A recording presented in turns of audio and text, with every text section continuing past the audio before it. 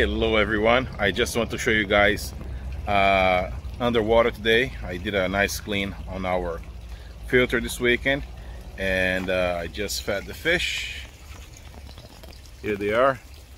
Expecting more food as always.